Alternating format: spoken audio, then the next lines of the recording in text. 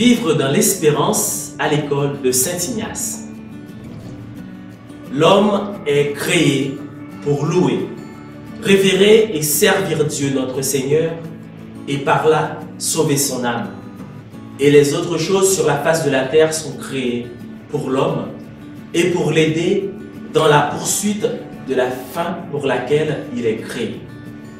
D'où il suit que l'homme doit user de ces choses, dans la mesure où elles l'aident pour sa fin, et qu'il doit s'en dégager dans la mesure où elles sont pour lui un obstacle à cette fin. Pour cela, il est nécessaire de nous rendre indifférents à toutes les choses créées, en tout ce qui est laissé à la liberté de notre libre arbitre et ne lui est pas défendu, de telle sorte que nous ne voulions pas, pour notre part, davantage la santé que la maladie, la richesse que la pauvreté, l'honneur que le déshonneur, une longue vie qu'une vie courte, et de même pour tout le reste. Mais que nous désirions et que nous choisissions uniquement ce qui nous conduit davantage à la fin pour laquelle nous sommes créés.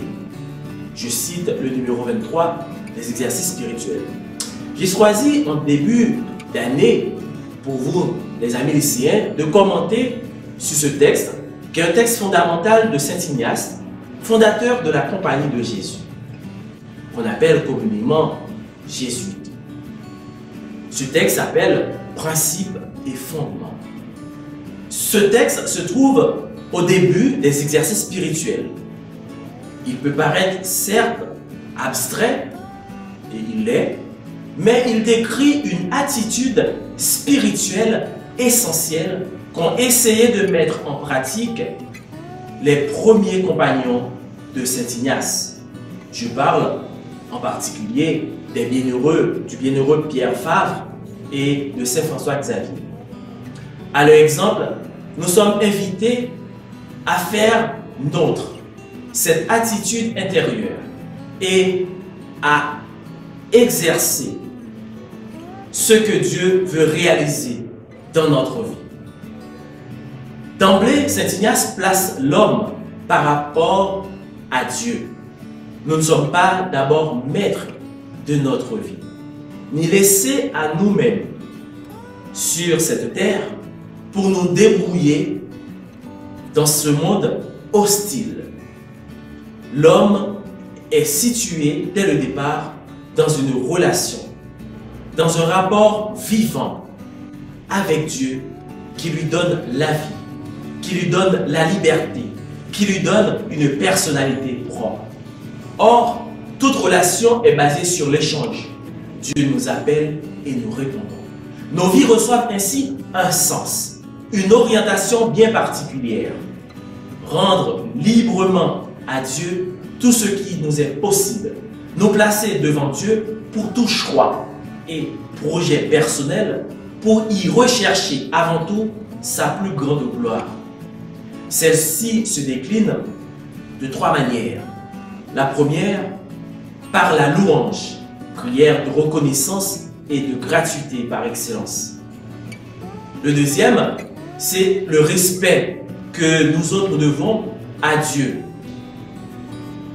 Le troisième élément, c'est le service ou l'engagement au nom de l'Évangile.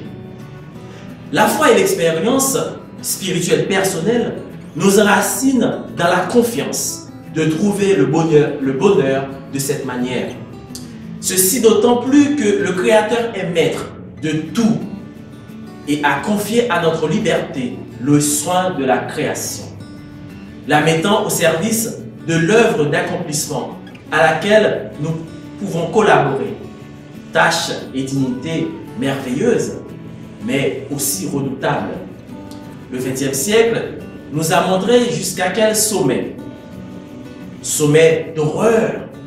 L'irresponsabilité de l'homme peut conduire la création.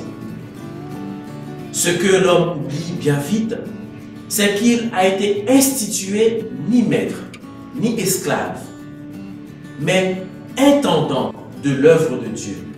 Il est appelé à toujours se situer à sa juste place, ni Dieu, ni objet, mais sujet libre et responsable. Cette définition de la juste place de l'homme n'a rien perdu de son actualité. Il suffit de voir combien de nos contemporains aujourd'hui sont victimes de rythmes de travail sur lesquels ils n'ont pas de prise. Combien la consommation effrénée nous a servi à nos plaisirs, nous a servi à nos besoins primaires. Combien le stress nous empêche de vivre pleinement. Le message de cet ignage, chers amis, peut donc nous amener à prendre du recul et à remettre chaque chose à sa place. L'homme au centre, mais l'homme libre et responsable devant Dieu. Non pas l'homme pantin de l'économie, l'homme pantin de la société de consommation et de tout objet, tout projet relativisé par rapport à la destinée spirituelle de l'homme. Cet Ignace appelle indifférence. L'indifférence, ce qui est cette relativisation des choses. Devenir indifférent, ce n'est pas devenir insensible à ce que nous entoure, mais c'est d'avoir un recul suffisant pour choisir ce que je veux, en me sachant limité par la loi de Dieu et ma conscience. Faire du tort à quelqu'un, ruiner sa santé ou délaisser ses responsabilités de conjoint ou de parent ne peuvent faire l'objet d'un choix chrétien.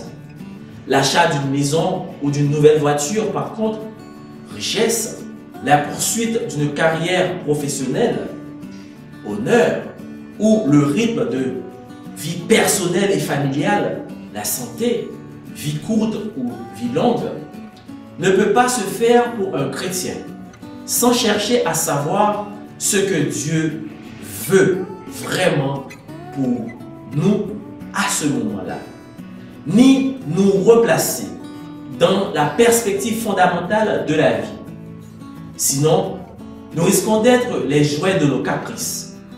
Nous risquons d'être prisonniers du regard des autres ou esclaves de dynamiques déshumanisantes.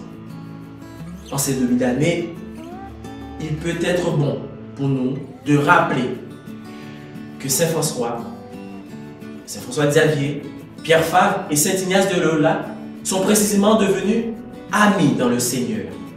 Parce qu'ils ont pu subordonner tout à leur désir commun de servir Jésus-Christ, le Seigneur de toutes choses, en nous laissant aimer, en nous laissant entraîner par lui, comme eux, par cet amour reçu d'en haut, nous deviendrons libres pour aimer à notre tour, dans une fraternité de louanges, de respect des autres et de la création et de service. Voilà comment vivre dans l'espérance à l'école de Saint Ignace.